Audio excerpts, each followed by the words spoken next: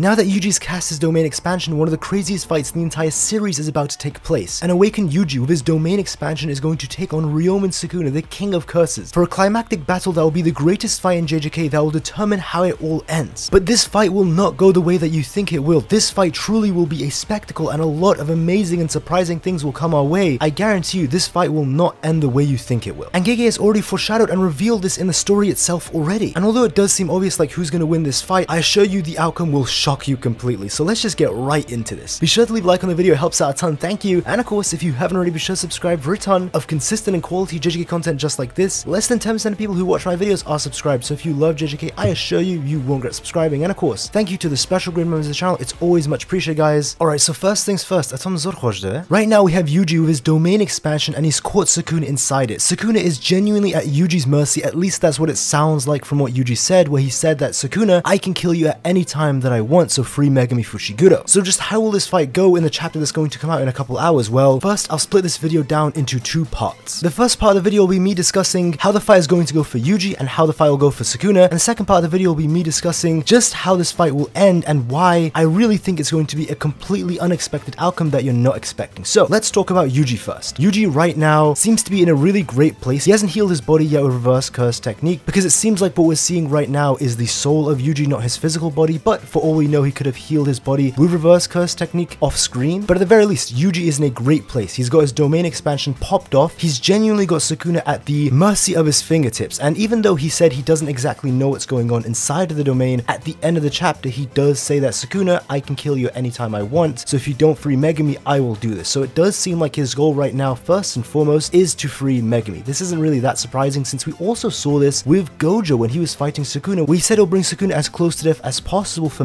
And then once again, even Yuta and Yuji, when they were fighting Sukuna inside of Yuta's domain expansion, the whole point of all of that was to actually free Megumi, to get a chance to talk with Megumi. So that's what's going on with Yuji right now. He does seem to have a sure hit that can kill Sukuna. At least that's what he thinks. He could be wrong because there's been many times characters have assumed that they can just kill Sukuna or that they've guaranteed victory and it still hasn't gone the way that they thought. That's been showcased this entire Sukuna fight where it's happened dozens of times to be honest, such as when Gojo caught Sukuna in his domain expansion or when they hit Sukuna with the Jacob's ladder, when Maki stabbed him through the heart, just all of these plans, even though it seems like guarantees that Sukuna has lost, with this man you really just never know. It truly is Sukuna Kaisen so he could just find a way to somehow survive. It genuinely would not surprise me at all if he somehow survived the sure hit, even though Yuji guarantees the kill. But we still must take into account that Yuji is really confident that he can do this. It could just be a bluff, that's what some people are theorizing, but I'll just take it at face value and as a fact for now that Yuji is being genuine and at the very least what Yuji sure hit is something very lethal. Now as for Sukuna's situation, really he's in quite a tough spot. He's trapped inside the domain, even though he's got his reverse curse technique back, still his cursed energy is not at max capacity, it's actually a bit less than half. He's still got his general output nerf and he does have technique burnout, so he can't cast domain expansion and all that things, and as far as we know he still should have the binding vow where if he uses domain expansion it would still be really nerfed. But again, that's only what we know so far. And what also makes it worse for Sukuna's situation is the fact that yes, even if he somehow survives Yuji's sure hit or takes a lot of damage from it but makes it out alive, of course there's going to be the other sorcerers from Jujutsu High who can still fight Sukuna. It does seem like a lot of them are out of commission. From last we saw Kusakabe, Angel, Todo, Yuta and Gojo's body, all of them really seem to be completely out of commission, but of course we can't just count them out yet. Probably the only one that you could probably count out is Yuta because of the time limit, but everybody else, just because they've taken a lot of damage or just because they're on the verge of death, that does not mean that they can't reappear later, as we've seen this happen with Maki where she took a lot of damage and even took a black flash, but then she did reappear after she had some time off screen to heal. And this even happened with Yuji himself, where he got quite a devastating blow after Yuta's domain expansion, and he was not able to keep fighting, but of course, after he had some time to use reverse curse technique and heal, he then later rejoined the fight. So just because these characters seem to be out of commission, or really are out of commission, it doesn't mean that they can't come back, because Shoko does exist, and reverse curse technique and healing, that all does exist. So in that situation, if Yuji is able to buy enough time with Sukuna and do a lot of damage with his domain expansion, even if his domain breaks or somehow they clash out, in that scenario, then a weakened Sukuna would have to face a healed up Jujutsu High, granted still very injured, and of course Yuji, who's really powerful right now. Like there's no exaggerating just how powerful he is. And of course, it's made worse if the sure hit of Yuji does soul damage and actually affects Sukuna's output even more. In that scenario, that's the worst case for Sukuna, trust me. Because then he'll just truly lose, as he even said himself before, if he keeps taking this soul damage, he's going to lose. So yes, if Yuji can just do that, then he'll likely win. And now that I've said the circumstances, let's talk about how this fight fight will actually go. And of course, if you've been enjoying so far, leave a like, it helps out a ton. Thank you. Atoshi Mini. Now as for how this fight will go, I hope this answer doesn't shock you or doesn't come out to be a boring one, but I don't think either of them are going to win this. I don't think Yuji will truly win, and I don't think Sukuna will truly win. I think there will be a winner of the short-term battle, so either Sukuna or Yuji, I think most likely it's going to be Yuji, right? He's the MC, he's got all these power-ups, and this is the climax of the fight. Sukuna does have to lose at some point. It's not like the series is going to end with Sukuna winning, although that would be pretty funny, that would be pretty interesting if that's what happens, but yes, I do think Yuji will win the short-term battle, whether it's alone with his domain expansion, whether it's with the help of Megumi, or whether it's with the help of Jujutsu High, I think short-term, yes, he'll come out on top. However, I don't think he'll actually win the long-term battle with Sukuna, and I've discussed this in previous videos before, where I think the key part of all of this is the merger, and I know a lot of people are thinking that the merger won't come out, or the merger is something that Gege is choosing not to do. I just think it's too important, and it is quite literally the reason all of this is happening. The